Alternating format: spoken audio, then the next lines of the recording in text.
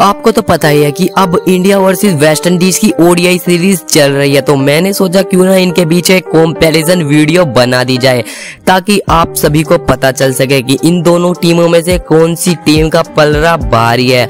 तो चलिए, बिना टाइम वेस्ट किए इस वीडियो को स्टार्ट करते हैं। सबसे पहले बात करते हैं मैचेस की तो इंडिया की तरफ़ से वेस्ट इंडीज के खिलाफ सबसे ज़्यादा मैच खेलने वाले खिलाड़ी विराट कोहली हैं, जिन्होंने तिरालीस मैच खेले हैं।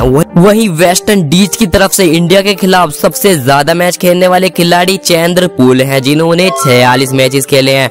चलिए अब बात करते हैं मोस्ट रन की। तो इंडिया की तरफ़ से वेस्ट इंडीज के खिलाफ सबसे ज़्यादा रन बनाने वाले खिलाड़ी विराट कोहली ही हैं, जिन्होंने दो हज़ार दो सौ इकसठ रन बनाए हैं।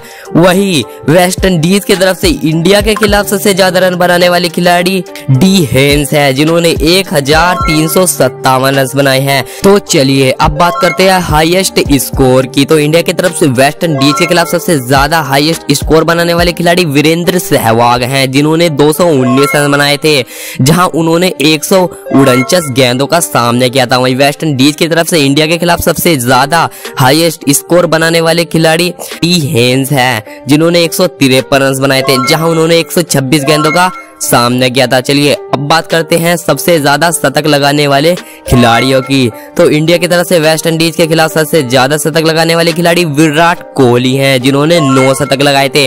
वही वेस्ट इंडीज की तरफ़ से गेल्स हैं, जिन्होंने चार शतक लगाए थे। चलिए, अब बात करते हैं सबसे ज़्यादा अर्ध शतक लगाने वाले खिलाड़ी की। तो इंडिया की तरफ़ से वो है रोहित शर्मा, जिन्होंने बारह हाफ़ सेंचुरीज लगाई थी। वही वेस्ट इंडीज की तरफ़ से आर सरवन है, जिन्होंने ग्यारह फिफ्टी लगाई थी। तो आपको इनका कौन सा कॉम्पेयर चाहिए कमेंट सेक्शन में ज़रूर बताइएगा।